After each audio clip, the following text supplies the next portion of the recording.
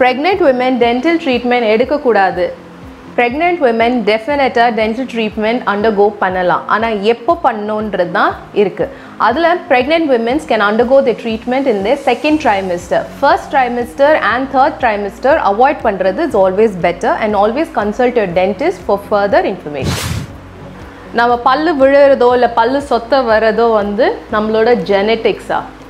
நம்ம பல்லு விழுறதோ இல்லை பல் சொத்தை வந்து ஜெனட்டிக்னு நிறைய பேர் நம்பின்னு இருக்காங்க அது கிடையாது. நம்ம ப்ராப்பராக ஓரல் ஹைஜீனோ இல்லை வந்து ப்ராப்பராக மெயின்டைன் பண்ணிக்கிட்டு அண்ட் டென்டிஸ்ட்டை வந்து நம்ம ரெகுலராக செக் பண்ணி க்ளீன் பண்ணி ஏதாவது சின்னதாக ப்ராப்ளம் இருக்கும் போதே சால்வ் பண்ணிட்டோன்னா நம்மளுக்கு இந்த ப்ராப்ளம்ஸ் வராது. And it's purely not genetic diet soda a replacement for Pepsi Coke seven up நிஜமாவா? Be it diet soda or pepsi coke or any branded companies a soda is soda a soda வந்து எப்பவுமே நம்ம வாயில வந்து it has more acidic content so eventually it will erode your enamel நம்ம enamel தேஞ்சாலே நம்மளுக்கு eventually நிறைய problems வரும் like sensitivity decay etc so soda is soda be it diet soda or any other company soda